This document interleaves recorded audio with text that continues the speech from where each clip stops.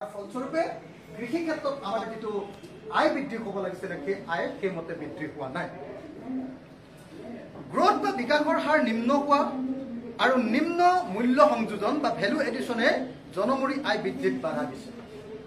খুব ইম্পৰ্টেণ্ট কথা মই ৰিপিট কৰিছোঁ সেইকাৰণে যে বিকাশৰ হাৰ নিম্ন হোৱা আৰু নিম্ন মূল্য সংযোজন গ্ৰথ ৰেটটো কমি যোৱা আৰু ভেলু এডিশ্যন কৰিব নোৱাৰাৰ কাৰণে।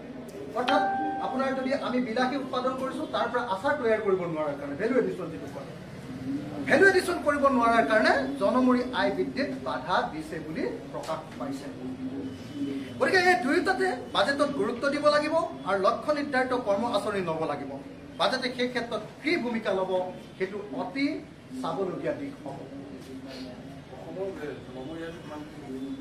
আহ, আজিৰ দিনটোত জনমূৰি আয় আপোনাক কৈছোঁ যে কাৰেণ্ট প্ৰাইচ বা চলিত মূল্যত আগতকৈ যোৱাবাৰতকৈ তিৰাল্লিছ হাজাৰ চাৰিশ আঠষষ্ঠি টকা কম হ'ল।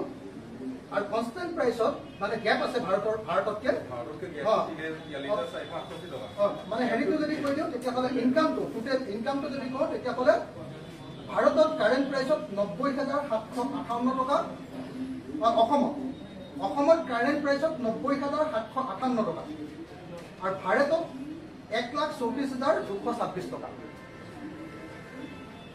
এজন ভাৰতীয় মানুহৰ আজিৰ দিনটোৰ আয় মানে বছৰি হোৱা যিটো উপাৰ্জন সেই উপাৰ্জনটো হ'ল এক লাখ চৌত্ৰিছ হাজাৰ দুশ ছাব্বিছ টকা।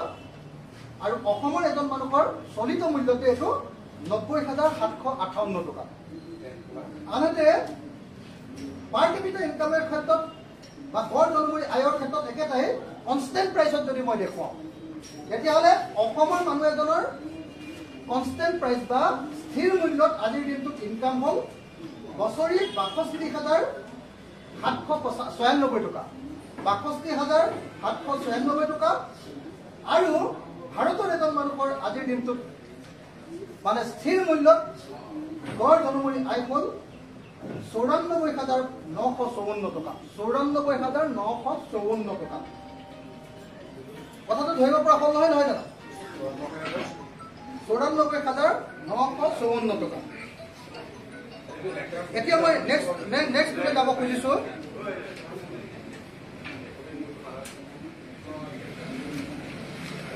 এতিয়া যাব খুজিছো ইকনমিক চাৰ্ভৰ ৰিপৰ্টে ছাৰ্ভিচ ছেক্টৰ বা সেৱা খণ্ড সেৱা খণ্ডৰ দুখ লগা আৰু চিন্তাজনক ছবি প্ৰতিচ্ছবি দাঙি ধৰিছে। ভাৰতৰ সমৃদ্ধিৰ মূল ক্ষেত্ৰই হ'ল সেৱা খণ্ড। গোটেই ভাৰতবৰ্ষত মানুহে আমাৰ ভাৰতবৰ্ষত যে বিকাশ হৈছে কিছু পৰিমাণে যে অলপ আগবাঢ়ি গৈছে তাৰ মূল খণ্ডটোৰ নাম ছাৰ্ভিচ ছেক্টৰ বা সেৱা খণ্ড। অসমৰ সমৃদ্ধিৰ মূল খণ্ডও আচলতে সেৱা খণ্ডই। আৰু সম্ভাৱনাও আছে আটাইতকৈ বেছি সেৱা খণ্ডত কিন্তু ইকনমিক ছাৰ্ভে দুহেজাৰ বিছ একৈছৰ মতে দুহেজাৰ ঊনৈছ বিছ বৰ্ষত অসমৰ সেৱা খণ্ডৰ বিকাশ কেৱল চাৰি দশমিক চাৰি আঠ শতাংশহে।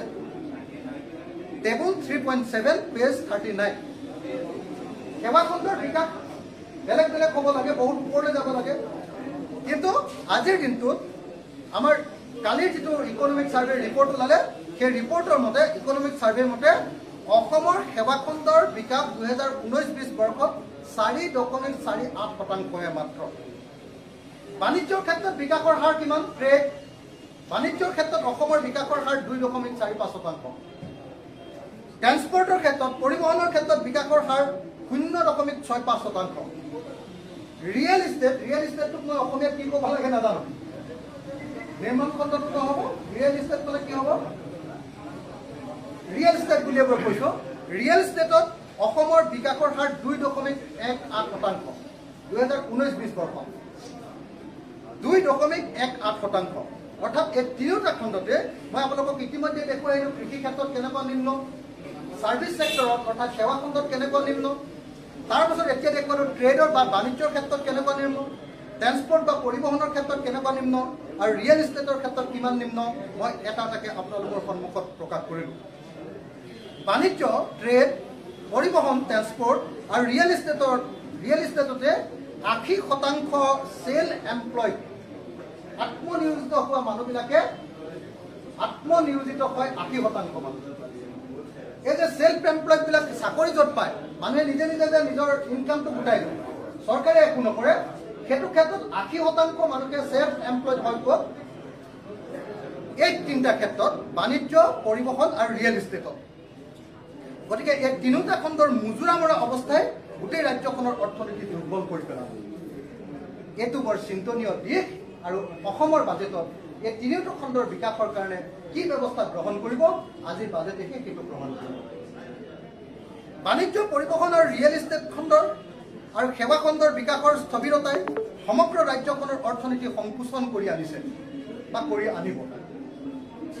এই তিনিওটা সেৱা এই তিনিওটা অৰ্থাৎ বাণিজ্য পৰিবহণ আৰু ৰিয়েল ইষ্টেট যোগ সেৱা খণ্ড মুঠ চাৰিওটা খণ্ডৰ বিকাশৰ বাবেও বাজেটত বিশেষ মনোযোগ দিব লাগিব। কভিড পৰিস্থিতি বা লকডাউনৰ ধ্বংসাত্মক অৰ্থনৈতিক প্ৰৱণতাক বাধা দিবলৈ বাজেটত কি দূৰদৰ্শী সিদ্ধান্ত গ্ৰহণ কৰা হ'ব সেইটো হ'ব আটাইতকৈ গুৰুত্বপূৰ্ণ যদিও দুহেজাৰ ঊনৈছ বিছ বৰ্ষৰ এই বিকাশৰ হাৰবিলাকৰ কথা কোৱা হৈছে কিন্তু আপোনালোকে সকলোৱে আমি সকলোৱে জনা দৰকাৰ যে কভিডে কিন্তু এই বিকাশটো এতিয়া সম্পূৰ্ণৰূপে স্তব্ধ বা পূৰা নিগেটিভ কৰি পেলালে। গতিকে ইয়াৰ পৰৱৰ্তী সময়ত তৈয়াৰ হোৱা এইবাৰৰ যিখন বাজেট আজি যিখন প্ৰকাশ পাব সেই বাজেটে কভিড পৰিস্থিতি আৰু লকডাউনৰ পাছৰ পৰিস্থিতিত মানুহৰ যি অৰ্থনৈতিক দুৰৱস্থা সেইটোক ত্বৰান্বিত কৰিবৰ কাৰণে সেইটোক ভাল কৰিবৰ কাৰণে আগতকৈ আকৌ মানুহবিলাকৰ অৱস্থা উন্নত কৰিবৰ কাৰণে কি ব্যৱস্থা গ্ৰহণ কৰে সেইটো আটাইতকৈ লক্ষণীয় হ'ব আৰু অলপ সময়ৰ পাছত প্ৰকাশ হোৱা বাজেটে সেই কথাটো প্ৰমাণ কৰিব। বাজেট যেতিয়া প্ৰকাশ হ'ব তাৰ পৰৱৰ্তী সময়ত কোনোবা এটা দিনত আকৌ মই আপোনালোকৰ লগত এনেকৈ কথা পাতিম। ধন্যবাদ জয় অসম